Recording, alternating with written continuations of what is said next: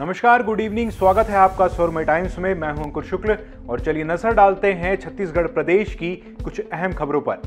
PM आवास पर सदन में हुआ बवाल, बीजेपी का वॉकआउट चौबे ने कहा, इन्हें बताते मैं खुद कंफ्यूज हो गया। विपक्षी बोले, गुमराह कर रहे मंत्री।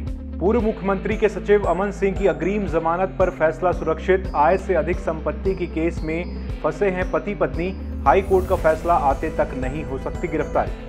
बलरामपुर में हादसा। चार साल के बच्चे की मौत। खेलने के बाद सड़क पार कर रहा था, तभी तेज रफ्तार कार ने मारी टक्कर।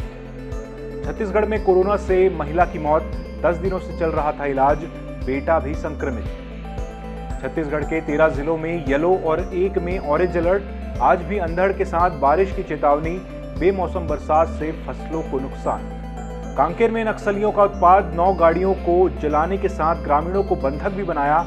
पुलिस को सूचना दिए बगैर चल रहा था सड़क निर्माण का काम।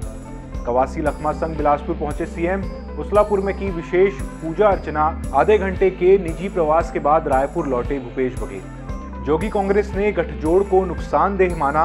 अलग की राह पिछली बार सात सीटें जीतने वाला बसपा जोगी कांग्रेस गठबंधन इस बार नहीं होगा साथ। इस बार 1700 करोड़ का होगा रायपुर निगम का बजट। तात्यापारा चौक के लिए 30 करोड़।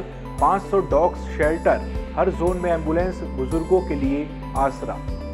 भिलाई में हर रविवार लोग तालाबों की कर रहे सफ़ाई, निगम ने चलाया अभियान, सभी तालाब होंगे साफ़। देश प्रदेश की खबरों में अपडेट रहने के लिए आप जुड़े रहिए सुरमई टाइम्स के साथ, और हमारे इस वीडियो को लाइक और शेयर करें, साथ ही हमारे चैनल को सब्सक्राइब ज़रूर करें।